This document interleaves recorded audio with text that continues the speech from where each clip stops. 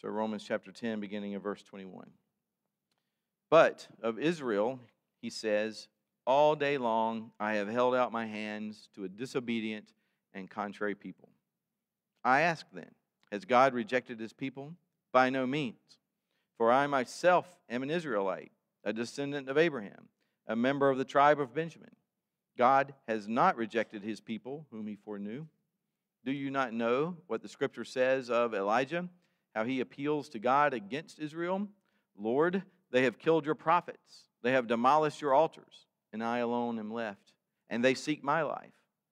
But what is God's reply to him? I have kept for myself 7,000 men who have not bowed the knee to Baal. So, too, at the present time, there is a remnant chosen by grace. But if it is by grace, it is no longer on the basis of works. Otherwise, grace would no longer be grace. What then? Israel failed to obtain what it was seeking. The elect obtained it, but the rest were hardened. As it is written, God gave them a spirit of stupor, eyes that would not see, and ears that would not hear, down to this very day. And David says, Let their table become a snare and a trap, a stumbling block, and a retribution for them. Let their eyes be darkened so that they cannot see, and bend their backs forever. The word of the Lord. So, this is a section of scripture where Paul is, as of course, he's writing to this church in Rome. Um, he's talking about election, he's talking about um, people who are chosen, people who have um, not been elect, people who have um, been turned over to Satan for the destruction of the flesh, and, and even here, people who um, are given eyes by which they will not see, and eyes by which they, they cannot see, and ears which they cannot hear. So there is a, a divine retribution that's actually happening. The justice of God is being given to God's chosen people from the Old Testament, the church in the Old Testament, to Israel. And this is one of those hard passages. And um, actually preparing for it, it's like, okay, this is going to be fun to preach. Uh, and so I'm like, what do you, what do you say about this? And I think I have something. I think the Lord, obviously, is in the word of the Lord, so it's something meant for us. And one thing is, I think it, in a lot of churches, and it doesn't matter what denomination, if, if the style of preaching is, um, let me find a topic to find and preach on, um, which I did for years, and thank God I don't do that anymore. It's just take, you know, I remember walking off, off of the pulpit and thinking, what am I going to preach next week? And just spending half a week figuring out what text am I going to use. And so it's, it is very helpful to be able to go on. No, next week it's the next verse. We're just going to keep going through it. And so you study it and you see what it is, and whatever it is, is, is what we have. And that's what all of the scripture is profitable for pre- preaching and teaching and training in righteousness, as is, as is this. But this gets passed over a lot in topical preaching because this is not one of those go to passages where you're just like, hey, let me give you guys a, a message for today about why we need to be more nice to each other, something like that. This is, this is, what is it? What is this about? And I think it's about the character of God. And I think Paul definitely wants us to be aware of what's going on because um, you can, sorry, the Pink Floyd lyric comes to my head. That you know what it's like banging your, your heart against some mad bugger's wall. You know, you just can't get through to some people. And then we even see ourselves at times, it's like, goodness, it seems as if even the Holy Spirit has trouble with our hearts sometimes. And we know the Holy Spirit blows where He will. God is far more powerful than, than we ourselves are. And yet, people who, as ourselves, have given ourselves over to God because we know God has called us, God has chosen us, God has brought us into His presence by the blood of Christ, and we look at ourselves and we think to ourselves, goodness. You know, it's, it's Jesus is at the table and says, one of you is going to is going to betray me. And they all kind of look at going is it is it i? Is it i? And then when we read these passages as we sang this morning psalm 95 you know don't be like your followers who harden themselves in the wilderness. Don't be like them. And so we have to look at ourselves and go is it is it is it i you know am i doing this am i do i have a true faith how do i know and then if you look at israel it's like look at everything israel had and what's going on there And then, you know, we've had centuries to debate and talk about this in the church, but early on, you're like, oh, wait a second. This is, this is the church. This, you know, the, the Jews are rejecting this, I mean, almost wholesale. You know, if they aren't believing this, why should we believe this? And so Paul's, you know, it's not the first time he's bringing this up. He's been talking about this in, in um, 9 and 10. And it's almost like, okay, you're continuing to hit this point. And I really believe that, that what's happening is a couple of things. One is um, Jonathan Edwards, you know, preaches, you know, sinners in the hands of an angry God. And in my Facebook feed, there's another sermon series that somebody's doing. It's called Sinners in the Hands of a Loving God. And it's like, okay, they're doing a little play off of this. And, um, and, and, of course, as a pastor, I know better than to preach a, a, a brimstone and hellfire sermon because, you know, that's what those evil, bad churches do that just don't do anything but what preach the glad verses. You know, that's just what are we supposed to do? I want to make you feel good. I want you to leave from here encouraged. I don't want you going home going, you know, screaming and crying. I don't know if I'm saved. I don't know if I'm going to go to heaven or not. And yet, maybe that's what some of us need. You need to think about it. You know, am I truly saved? Surely God would not reject his people. Well, you better make sure you're his people just because you have the name Israelite didn't make you an Israelite. And that's what he's already said this. All of Israel is not Israel, but the chosen, there's a remnant now he's talking about. And you have to really, as you as you think about this and you look at this, you wonder again, you know, why I, almost felt like at this point, it's like, you made your point. Let, let's move on. But he obviously has not made his point yet. And I think um, particularly as just I remember uh, reading through Philippians, meditating upon Philippians, and he's in prison. And he's just the joy book people call it. It talks about joy so much. It's like, and he's in prison, and you know, and the message can be, well, if Paul can be imprisoned, and these prisons weren't the nicest of prisons at the time, and and he can speak of joy, then so much more should we. Um, but I do believe that Paul is preaching to himself in Philippians, that he's saying, This is what I need to hear.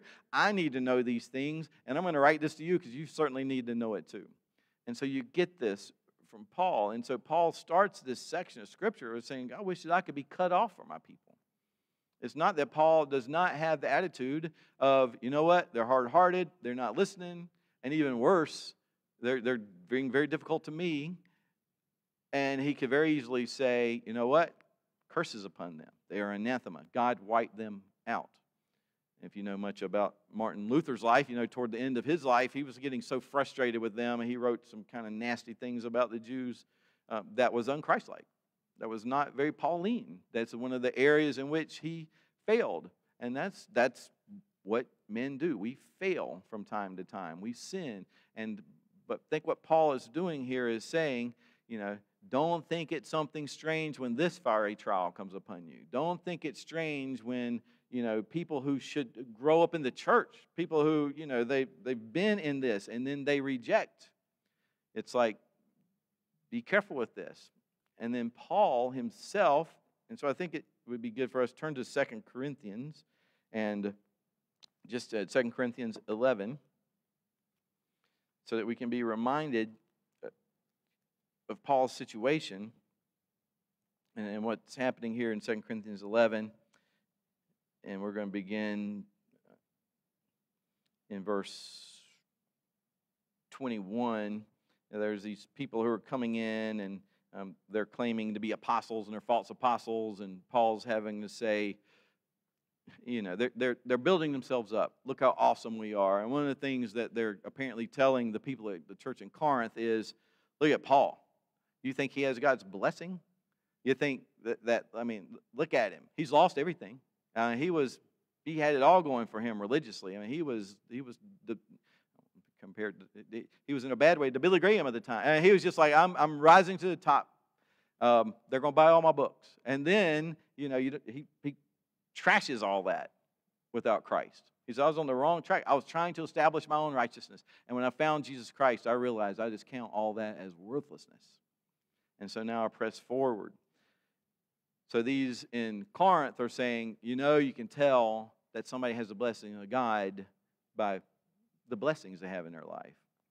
And you know, Job, a righteous man suffering, you know, not because of sin, pointing to Christ who would also come and suffer, not due to sin. And then Paul's like, okay, listen. So in verse 21, 2 Corinthians 11, 21, to my shame, I must say we were too weak for that. But whatever anyone else dares to boast of, I'm speaking as a fool, I also dare to boast of that. Are they Hebrews? So am I. Are they Israelites? So am I. Are they offspring of Abraham? So am I. Are they servants of Christ? I am a better one. I'm talking like a madman. I mean, he knows he's not supposed to be. It's like, he's like, I can hear the words that are coming out of my mouth, but you got to listen to what I'm saying. Because if you think a servant of Christ looks like them, you're wrong. You need to understand a servant of Christ is going to look like Christ and not like the world. And so he says, I'm a better one. I'm talking like a madman with far greater money, far more accolades, far more uh, joyous parties being thrown for me. Far more, you know, this is not what he's saying. It's, Sproul does this a lot. He'll read and say, That's not what the scripture says at all. You're eating with me? He's like, No, that's not what he's saying. You want me to boast about something? Listen to this far greater labors, far more imprisonments, with countless beatings, and often near death. Five times I received at the hands of the Jews the 40 lashes less one.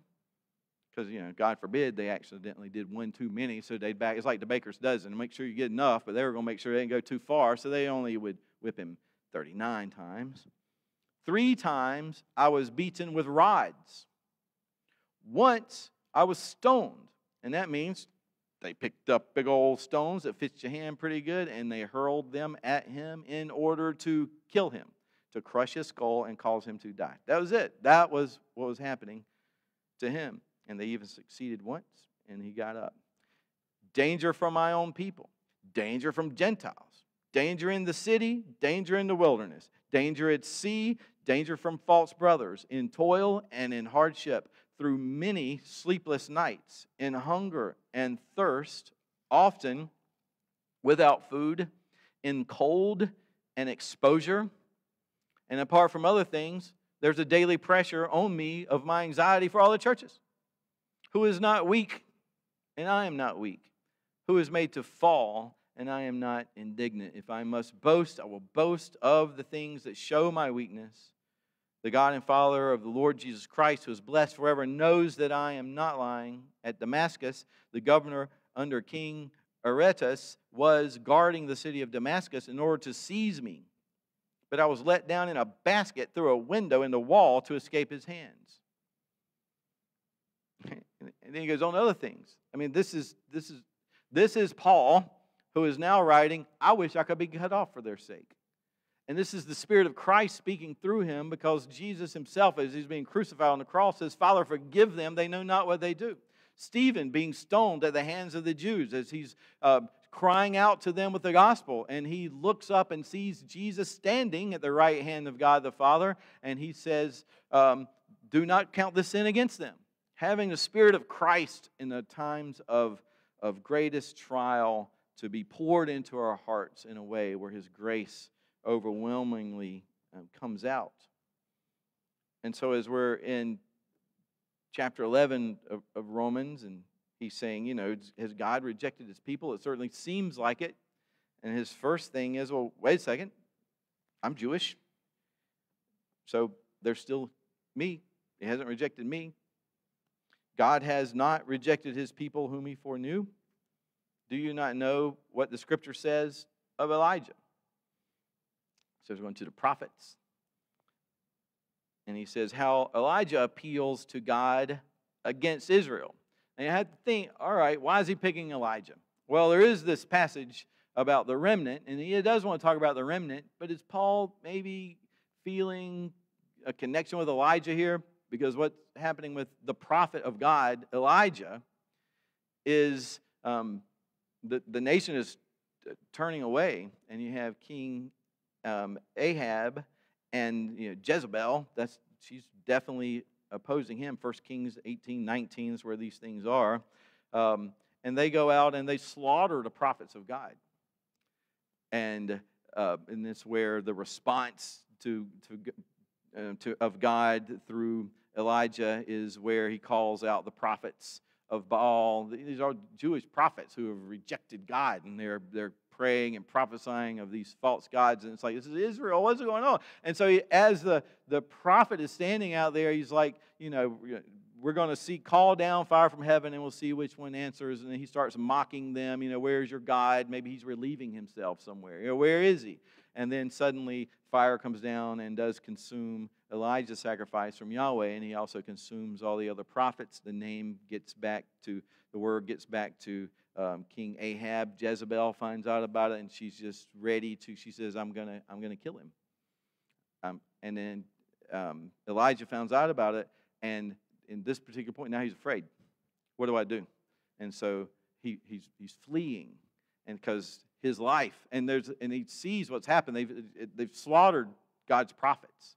He's seen God at work in retribution. But he knows just because I'm a prophet doesn't mean I'm being spared from this. He understands that I too can be killed. And then here's Paul, a prophet of God now, an apostle of God. And he sees what's happening to him. And he's got to be able to say, man, if it happened to Elijah. And he's like, but but he uses this. So he says, verse you know, 2, he says, how he appeals to God. And he says, Lord, they have killed your prophets. They have demolished your offer, your altars, and I alone am left. And they seek my life. And this has to be how Paul has felt from time to time. I mean, especially when he's thinking about his brothers, the Israelites, his fellow Jews. And when he goes to synagogues or he goes to these places, they seek his life to kill him. And finally, in Rome, you know, he ends up imprisoned and these terrible things happen. But he says, What was God's reply? In verse 4. And God's reply was, I have kept for myself 7,000 men who have not bowed the knee to Baal. Now, Baal is a, it means Lord. It's in this other language. It's just this, I think it's a Canaanite deity. It's this foreign god, a false god that they're worshiping and they're bowing the knee. All these prophets are bowing the knee to him. Imagine, you know, it's like churches, as we kind of see happening in our day, bowing the knee to other than God. Bowing the knee to the gods of the culture, bowing the knee to the gods of government, bowing the knee to the gods of demonically inspired synagogues of Satan. All these sorts of evils that happen in our world today. And if we don't see it as demonically inspired evil, then we have to be careful lest we too gradually, gently, get turned into bowing our knee to Baal as well. And so you have to be a prophet. A prophet is going to get struck down. You know, if you if, if the world is getting darker and you have just a little bit of light, the darker it gets, the brighter that light shines. It doesn't mean you got to make your light brighter. If it keeps getting darker, it just gets to be brighter. And we're called to make our light shine, not to hide it under a bushel. Why in the world would anybody hide a light under a bushel anyway? Because you're scared it's going to be seen. And Paul, one of the brightest lights that's up here now, what's he supposed to do? He's like, what was the answer? Elijah, I got 7,000 men I've saved. They have not bowed the knee to Baal. 7,000. Now that's a lot, but comparatively, it's just a, it's a tiny remnant. But that's 7,000, which is more than just you. I'm at work and you don't see it. And so this is part of what Paul is saying. He is at work in Israel. But there is a judgment that's happening to Israel. If we had time, we'd go back to, to uh, Matthew 24, and he's talking about the judgment that's coming upon this generation, particularly um, in Jesus' day, where they've killed the prophets and they've rejected the Christ and they've done all these things. And the Bible does tell us that all these things that have happened in the Old Testament Israel happened for us to see, to learn from. So one of the things we're supposed to learn from from from this more the, the recent history at Paul's time when he's writing is be careful lest you too turn away. You, you have to be careful. You have to cling to your Lord. Don't just think because you're in the church that you're in the church. You have to work out your salvation with fear and trembling. You know, get, have an outworking of it. Make sure you see it at work in your life, clinging to the promises of God. And one of the problems that we can begin to have is we are not clinging to the promises, we begin to cling to our own good works. And especially as you see the Holy Spirit begin to work in your life and you start to go, hey, You know, you might not say it, hey, I'm doing pretty good, but you start to feel like you're doing better. I mean, if you compare yourself to maybe what you were like, you know, years and years and years ago, you, have reason to boast. Look how much better I'm doing. But we're called to be humble, we're called to be penitent, and one of the things that should be happening in the life of a believer is it's kind of like the emperor's new clothes. You kind of just have to pretend that you're doing better because you start to have this little inward feeling that, you know, I'm not quite as good as I ought to be but you know i'm doing i'm doing good i'm doing good i'm not quite as good as a lot of these other people and if, you're the only one that can see the depths of your heart you can see the depths of your heart better than anybody else but unfortunately at times what the world flesh and satan will do is blind you to that so that what you do see about yourself is i'm clothed in righteousness but no, you're just like that king walking around naked.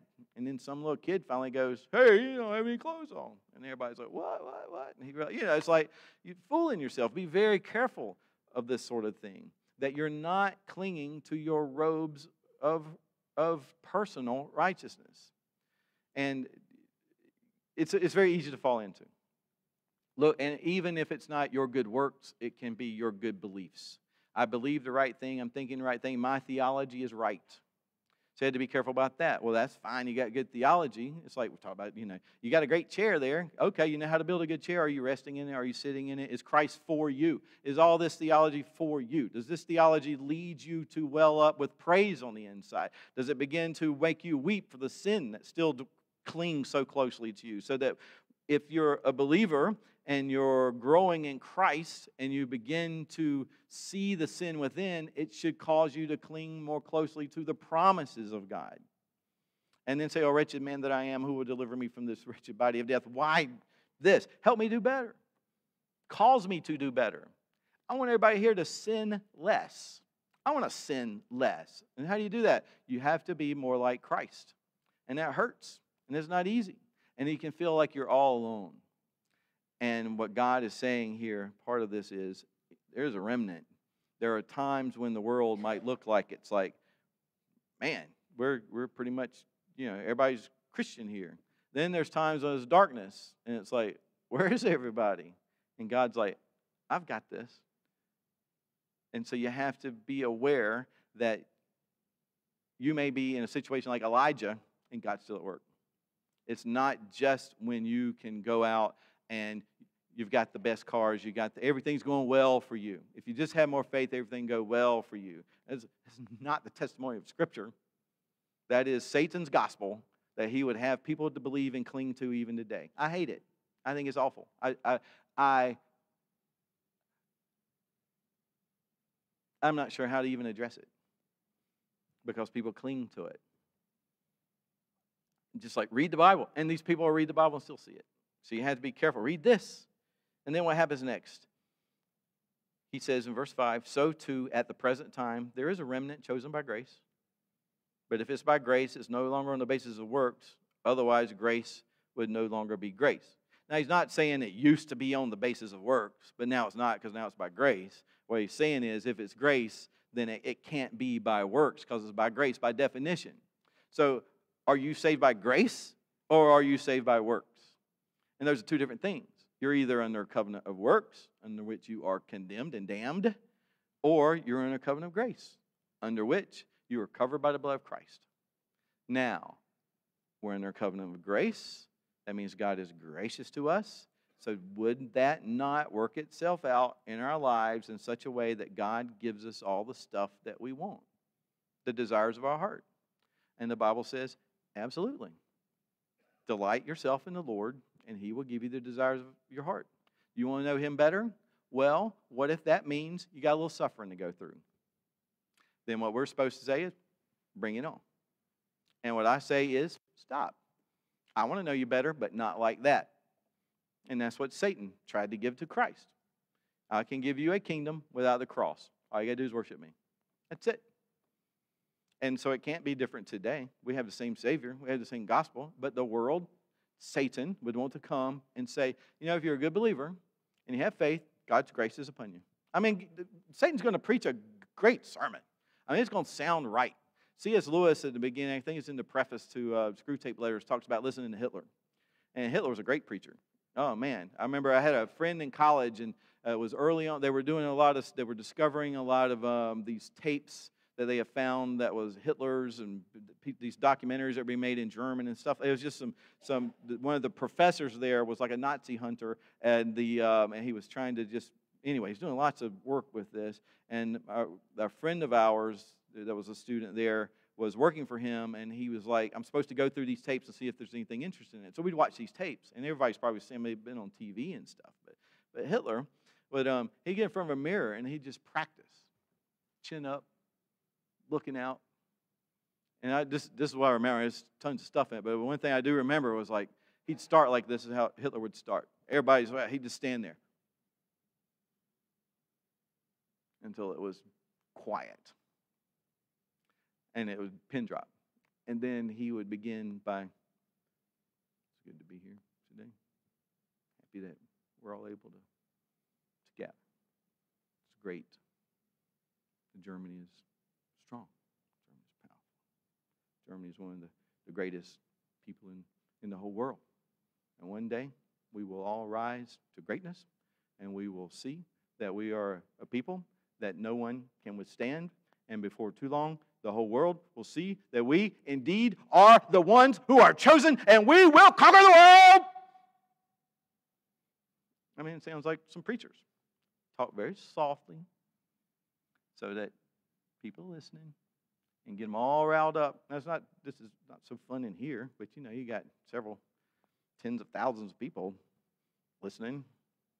That's powerful. So we had to be careful.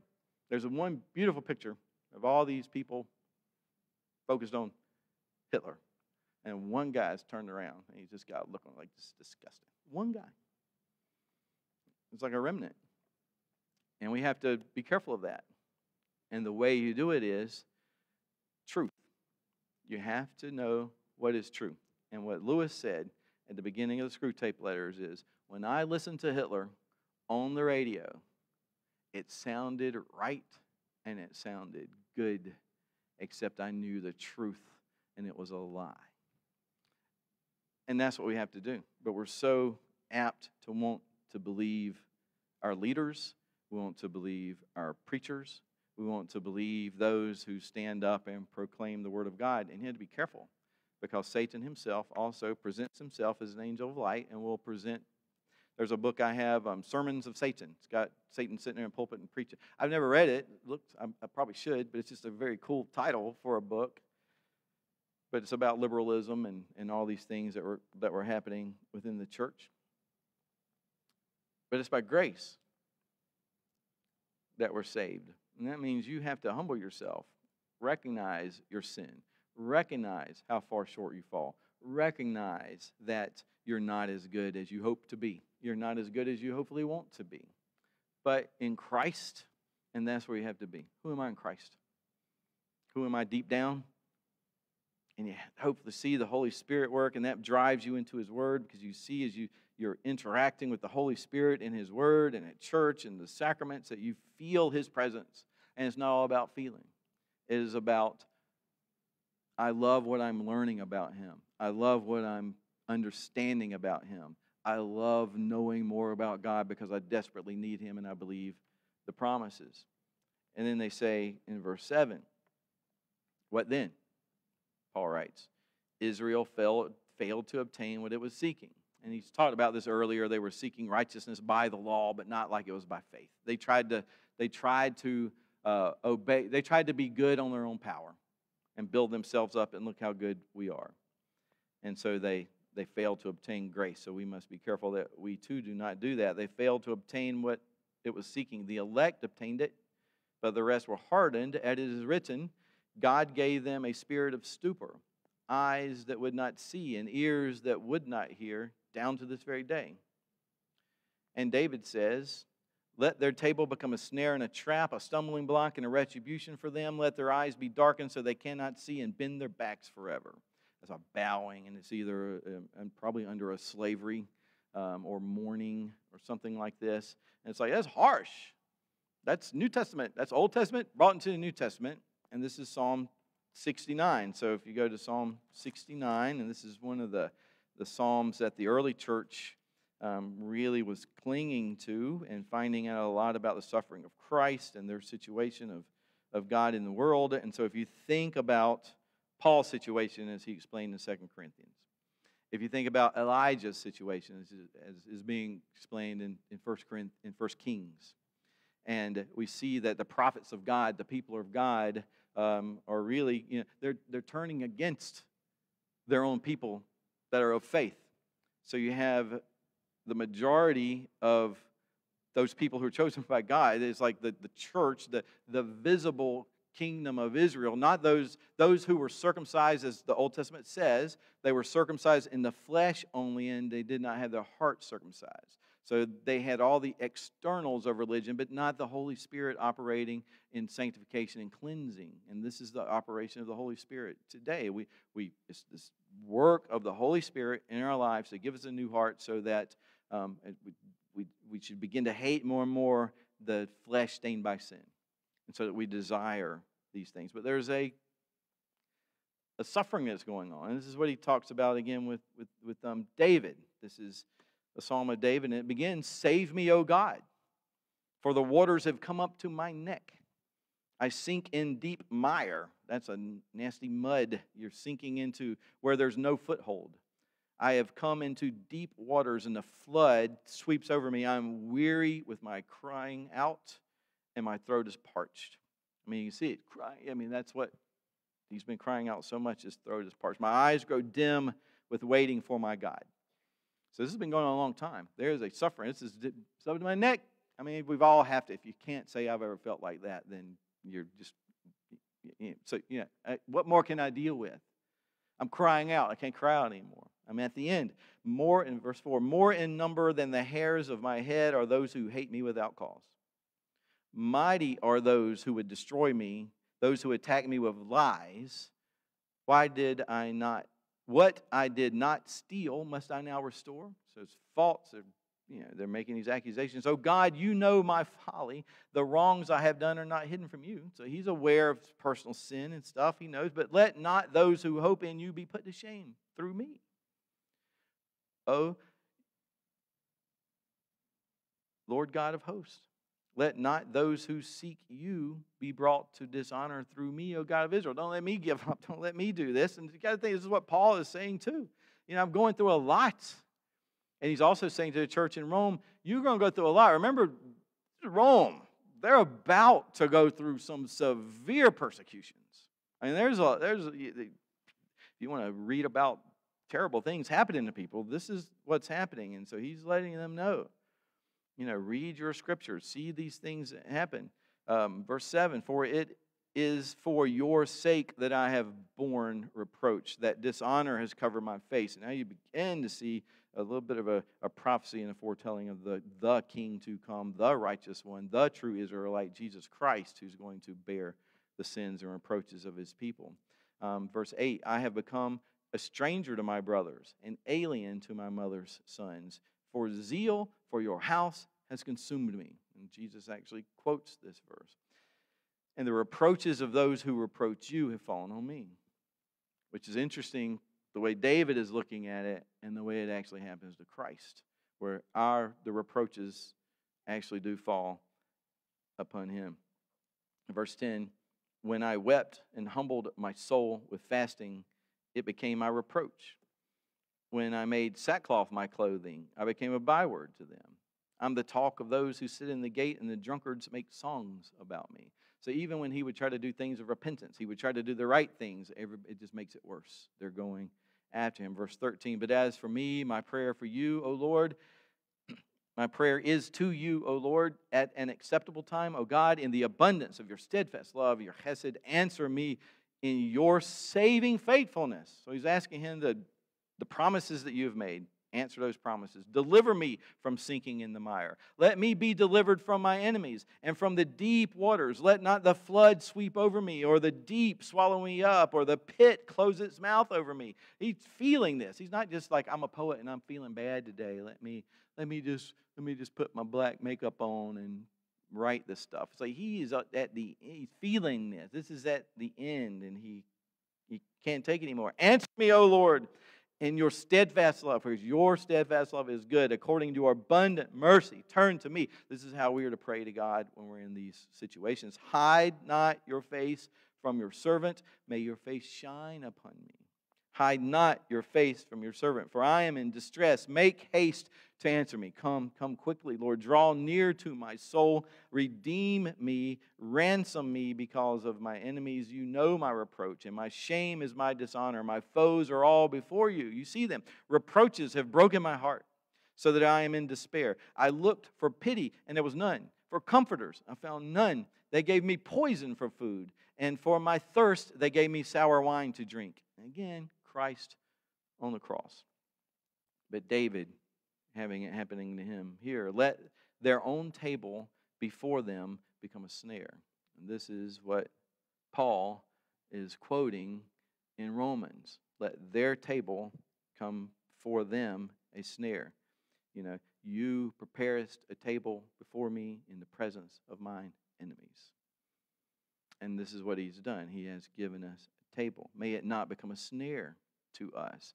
He's saying, those who hate you, because they're directing their anger and hatred toward the King of Israel, who is a very, an image of the Christ to come, they're hating, they're attacking. They want to do the devil's work and wipe out and destroy the Christ to come, destroy the church. Let every good thing that they have be turned against them. Let their table become a snare. And when they are at peace, let that become a trap. Let their eyes be darkened so that they cannot see, and make their loins tremble continually.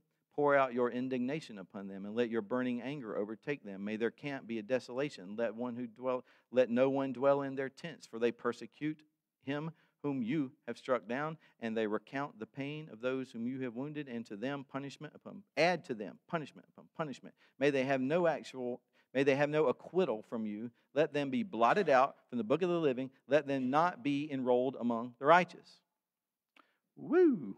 I mean, you know, that, that this is like imprecatory psalms. Can we pray like that today?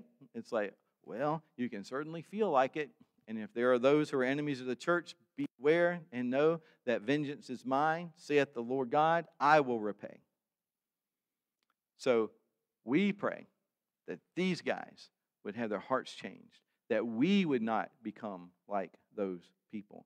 But God, what Paul is saying is, God, this is being answered at the time when Israel is on a great path of rejecting their Messiah.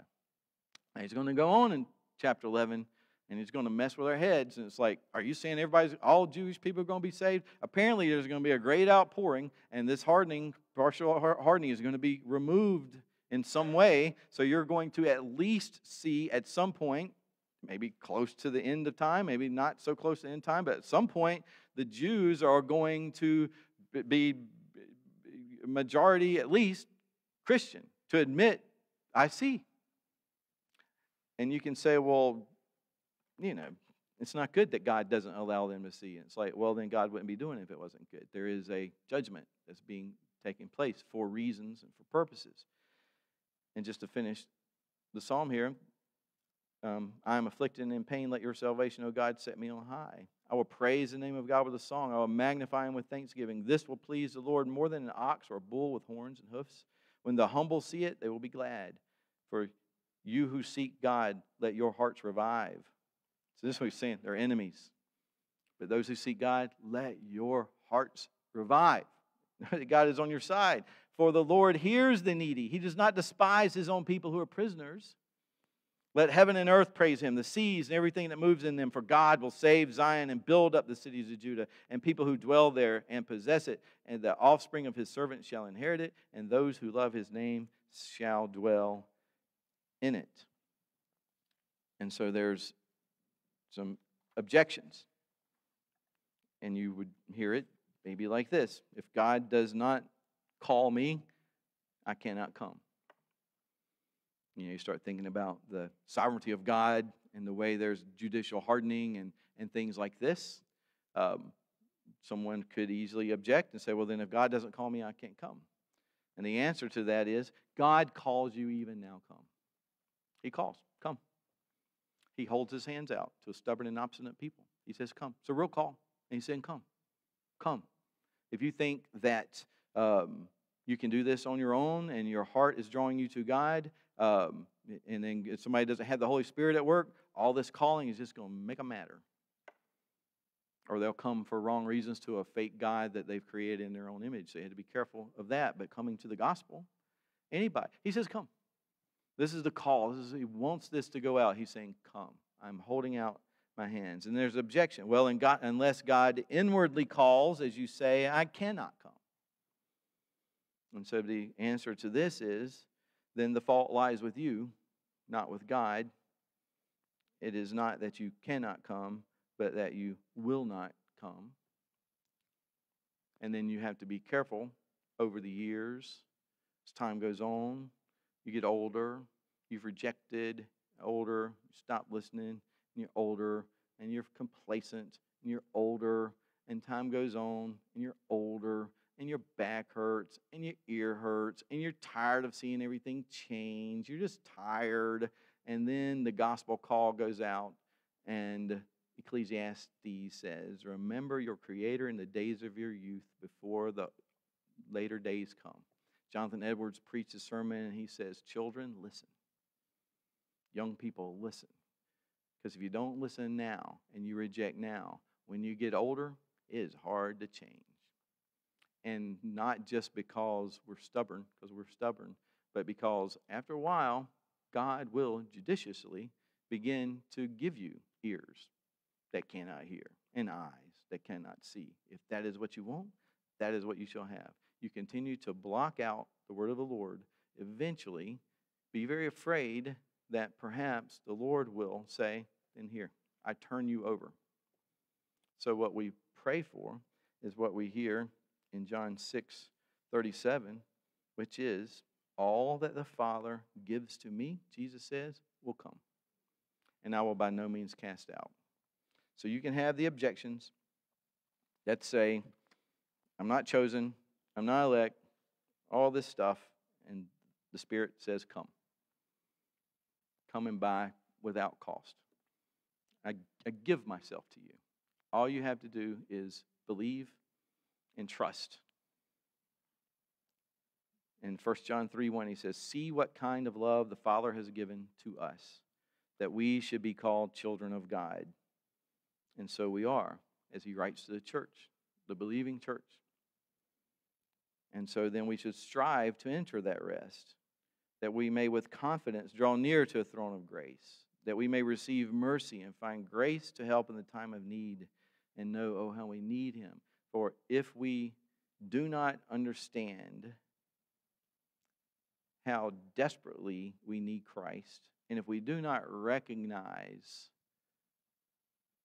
the danger of subtle rejections on our part, then we're not going to be very zealous in prayer. We're not going to be very zealous in worship. We're not going to be very zealous in scripture reading. We're not going to be very zealous in the things of the Lord. We'll walk away from here unchanged. And that is not what the Holy Spirit has for us. As Paul himself says, God is holding out his arms. And we have but to answer and trust. Let's pray. Father God, we pray that you would give us more and more faith. We believe, oh, help our unbelief. Help us to, to know that you said that your voice is to go out into all the world. There are to be preachers who profess the gospel, and that there will be those who will hear because faith does come by hearing, and hearing through the word of Jesus Christ. So your word gives people ears to hear, eyes to see. Prophesying over dry bones, can these bones live? Oh Lord, you know. As the Spirit goes out amongst the dead, the gates of hell cannot prevail against it. And you call those to yourself who are yours. We would pray that that number would be, would be we, we would see great numbers of people turning to you, that it would be quite evident that whatever we would call it, that we see a, an awakening to your word, to your sovereignty, to your goodness, to the need of your people for you, or we are to be a people most pitied. Help us to cling to you in all things. And we pray this in Jesus' name. Amen.